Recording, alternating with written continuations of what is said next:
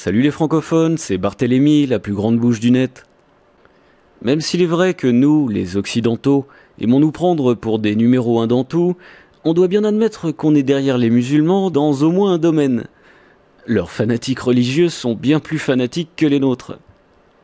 Quand des islamistes menacent les auteurs d'un dessin animé comme South Park pour une représentation du prophète Mohammed, encore lui, cela nous aide, ou du moins devrait nous aider, à nous rappeler que nos cultures ne sont pas simplement différentes de celles qui menacent de mort des auteurs ou des dessinateurs.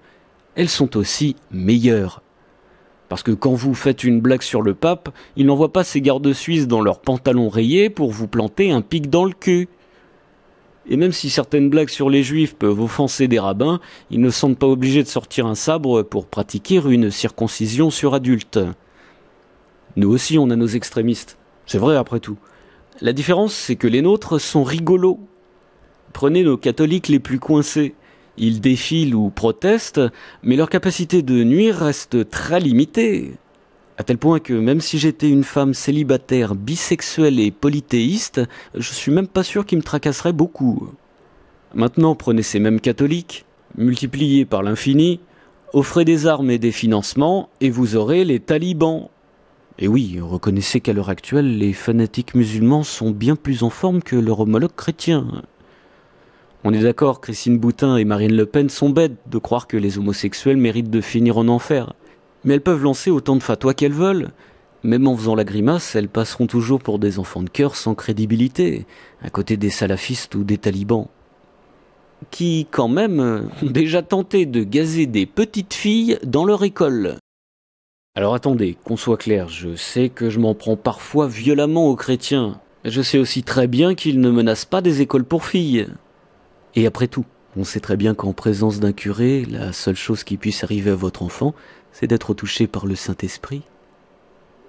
Si nos fanatiques ont tant de choses à apprendre des talibans, c'est parce que les musulmans prennent leur religion trop au sérieux, alors qu'on a eu le bon sens de s'en débarrasser depuis quelque temps. Prenez les catholiques, par exemple. Ils ne suivent plus le pape. Ils divorcent, ont des affaires extra-conjugales comme les autres, succombent à la tentation de l'onanisme et portent même des vêtements mélangeant des fibres de laine et de lin. Contrairement aux musulmans, aucun chrétien ne suit la Bible littéralement. Si les Occidentaux prenaient la Bible au sérieux, on regarderait par-dessus notre clôture le dimanche matin en se disant Alors comme ça, mon voisin tond sa pelouse le jour du Seigneur. Je pense que je devrais le tuer. Le christianisme est bien sûr passé par une période comme ça, pendant laquelle la religion a eu trop d'influence.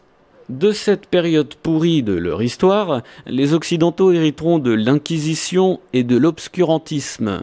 Pendant des siècles, vous aviez le choix entre vous soumettre à l'autorité de l'Église ou vous faire exécuter. Alors que maintenant, quand les témoins de Jéhovah sonnent chez vous, vous leur claquez par inadvertance la porte au nez je vais vous le dire, les gens civilisés ne se menacent pas les uns les autres. Non, nous on fait des procès. Les menaces, c'est vraiment pour les illettrés du désert. Hein. Et je ne vous laisserai pas amener ça en ville. Parce que même si ça me rassure un peu de voir l'Europe et l'Amérique garder une main tendue vers le monde musulman, le monde occidental doit rester ferme. Il y a des choses dans nos cultures qui ne sont pas négociables et qui ne changeront pas. La liberté d'expression en est une, la séparation de l'Église et de l'État en est une autre.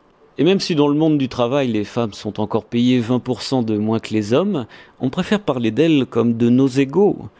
C'est ça, être civilisé. Pour en conclure, et dans un souci d'honnêteté intellectuelle, il me paraît nécessaire de préciser que la très grande majorité des musulmans est respectueux de la loi. Ce sont des êtres aimants qui réclament juste un peu d'intimité quand ils décident d'assujettir leur femme. Allez, salut les infidèles. En Afghanistan, des attaques menées dans des écoles. Ce week-end, une soixantaine d'écolières ont perdu connaissance. Elles auraient en fait été victimes de gaz toxiques. La police soupçonne des insurgés talibans toujours hostiles à l'éducation des filles dans leur pays. Renaud Bernard.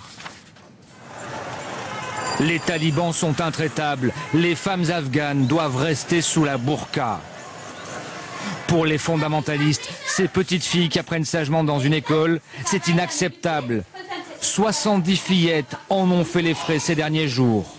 Trois écoles ont été attaquées, à chaque fois le même scénario. des inconnus ont lancé des fioles de gaz toxique à l'intérieur de ces classes, des attentats dénoncés par le gouvernement afghan.